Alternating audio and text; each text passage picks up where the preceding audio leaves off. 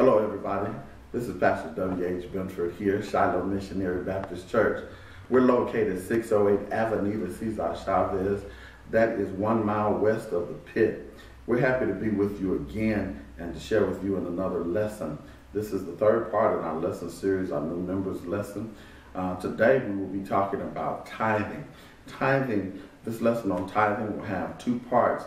And so right now we'll discuss the first part. We're happy to have you. I think tithing is an integral part of the church uh, because tithing is how the church runs and operates.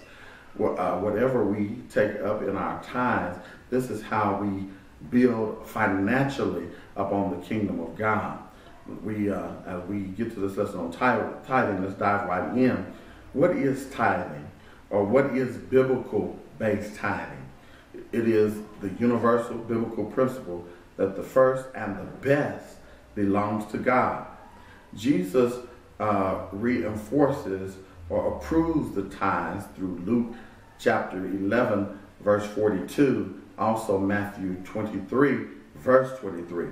The Apostle Paul lays down the principles of proportionate giving upon the first day of the week.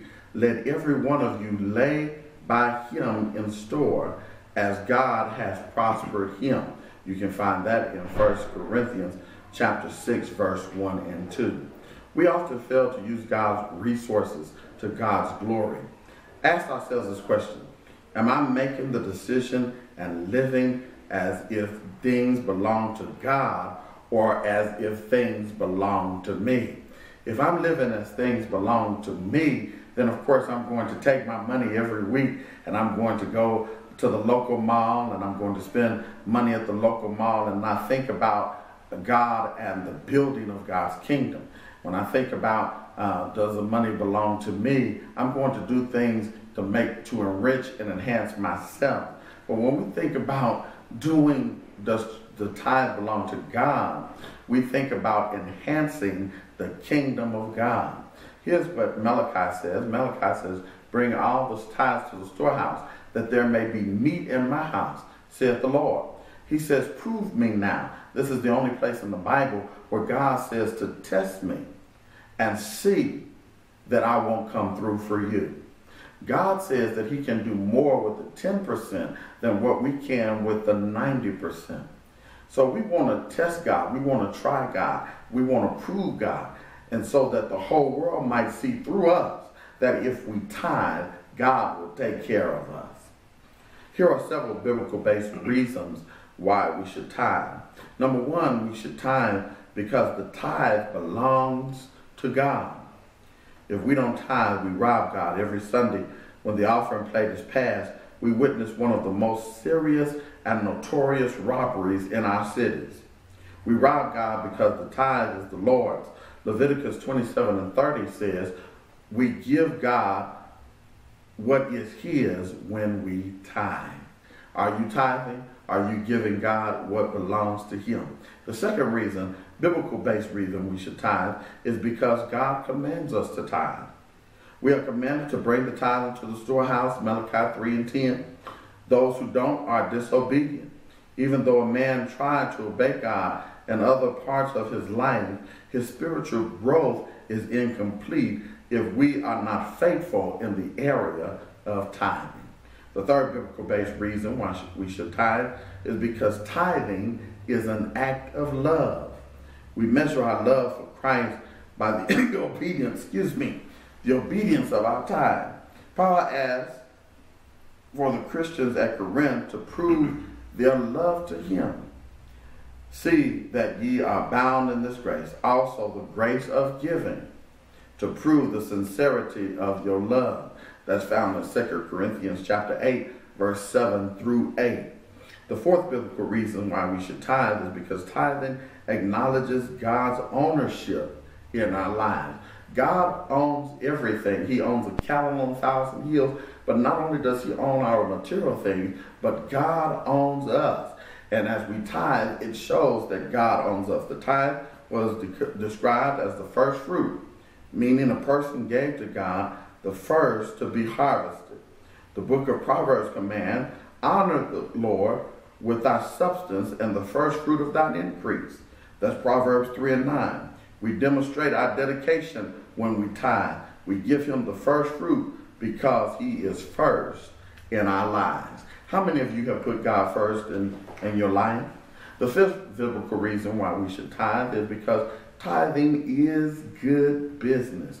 When we talk about business in church, we have a lot of annual business meetings and we talk about the money of the church.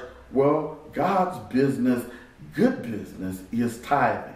You cannot do good business as a church, as an individual, until you've given your 10%, God's 10% back to Him. When you tithe for the right reason, you have gone into business with God. He has promised that when you invest one tenth of your income with Him, He will open up the windows of heaven and pour you out a blessing, one blessing that you don't have room enough to receive it. That's found in Malachi 3 and 10. Here's the sixth biblical reason why you should tithe because tithing will keep us from the lust of money. Those who don't tithe not only are disobedient, they demonstrate a greater love for money than they do for God. We always we live in a society where we want to keep our money in our pocket and we save our money as though we're going to be able to take our money with us when we die. But the truth and the reality of the matter is that when you die, there will be no U-Haul following your hearse with your money in it. For the love of money is the root of all evil, which while some coveted after, they erred from the faith. That's 1 Timothy 6 and 10. Those who deposit their weekly tithe into God's bank reveal their faith in God and take care, who will take care of all of their earthly needs. Finally, the seventh reason why we should do biblical based tithing because tithing helps the church implement the Great Commission. The church is commanded to go into the world to make disciples of every person, baptizing, converting, and teaching, which Christ commanded. We find that in Matthew 28 18 through 20. This includes money to print tracts, to purchase radio time, to build buildings, uh, to take care of the preachers who come and share with us the Word of God, uh, to carry out the countless other expenses associated with ministry. It takes money to do the ministry and the work of God. A tithing church will not have to beg for money, don't have to play gimmicks to fund its budget or building fund. A tithing church don't have to sell chicken and chitlin dinners. If we tithe, God will take care of us. Again, this has been the first part of our lesson on tithing. I've been happy to share with you on this day. You can connect with us uh, on our website. Just go to ShilohMBCABQ.com. You'll see us there. I look forward to sharing with you once again. Thank you. God bless.